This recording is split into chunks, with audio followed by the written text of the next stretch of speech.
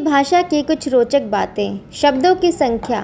English में लगभग एक लाख सत्ताईस हज़ार शब्द होते हैं, लेकिन सामान्य चलन वाले शब्दों की संख्या कम होती है और एक आम व्यक्ति के वोकेबलरी में आमतौर पर कुछ ही हज़ार शब्द होते हैं। सबसे लंबा शब्द।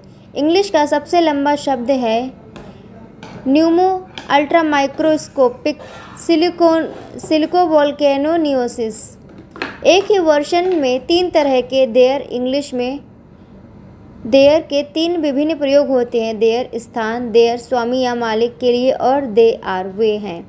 अंग्रेज़ी भाषा का मातृभाषा नहीं, अंग्रेज़ी की मातृभाषा नहीं है।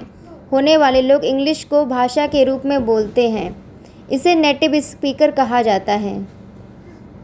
वाक्य में, the quick brown fox jumps over the lazy dog यह बाघ की एक पैग्राम है जिसमें सभी अक्षर प्रयुक्त होते हैं और इसे टाइपिंग टेस्ट के रूप में प्रयोग किया जाता है।